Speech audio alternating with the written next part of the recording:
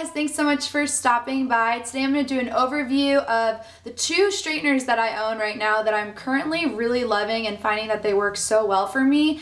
And they are definitely two straighteners that I'd recommend to you guys, but they do two different things. So I'm just going to talk about each. You guys are probably sick of me talking about this one because I've, I've featured it in a couple videos, but people still ask me questions on it, so I'm just going to do a kind of a comparison video and hopefully make it quick, but just kind of talk about the features on both. So this first one here is the Sedu Ionic Ceramic Pro Flat Iron and I I personally bought this one last year and I read so many reviews on it. I watched so many tutorials on it and I I had to get it. I just absolutely love the fact that it was a wide plate and I understand why having a wide plate one is good for thick-haired girls because it covers a lot of area in a short amount of time. So if you're a girl that doesn't want to take a long time on doing your hair and you have thicker hair, and if you want it straight in a shorter amount of time, I would definitely suggest looking for a straightener with a wider plate like this one,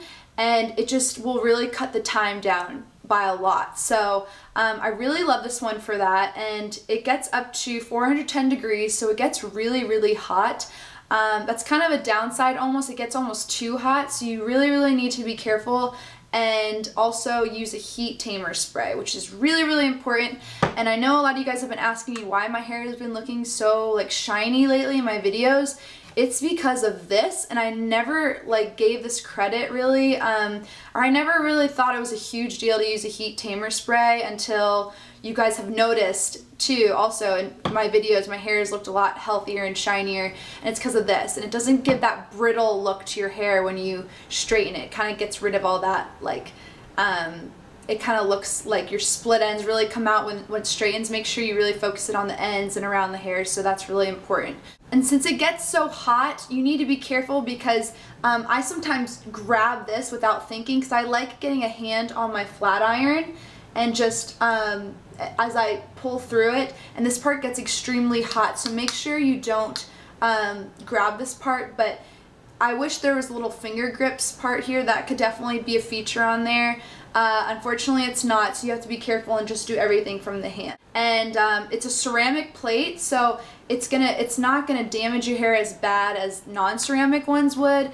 And I really really like the plates on this because it just kind of glides through the hair nicely. It's not when you grip it it's not um, gonna kind of fidget all the way down. It's not gonna make that jerking motion and make those dents you know what I'm talking about? So just kind of it just slides through really nice and um, so I really, really like the straightener a lot. Obviously my hair today is curly, so I kind of picked a funny day to do this because I didn't straighten my hair for the first time in a really long time. I just mainly want to talk about the product today and just kind of show you guys um, all that it does. It just has an on and off switch. The downside about this too is you can't um, curl your hair with this kind of straightener because the ends are just too squared off. You need a rounded edge to style to kind of get those nice curls and you can kind of style the bottom but this is the kind I've tried it before and it kind of makes a dented look because the ends are just so crisp and hard. So this is a straightener for medium to thick haired girls who want their hair straight in a short amount of time. So this is definitely the kind of straightener I would suggest for you.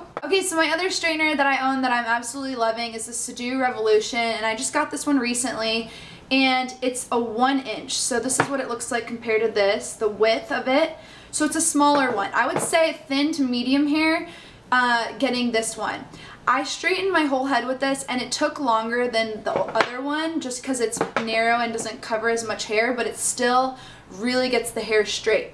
The beauty about this one is that it straightens and you can style. It's actually called uh, a styling straightening iron. So it has those rounded edges so you can kind of make those really pretty curls. And it has the twisty, um, the flat iron twist so that you can rotate through your hair and it kind of is easier on your wrist so your wrists don't burn when you do the curling look for your hair with the flat iron. So uh, I like it too because it does have the little finger grips thing here so you can get a hand on it when you curl if you want to curl the ends.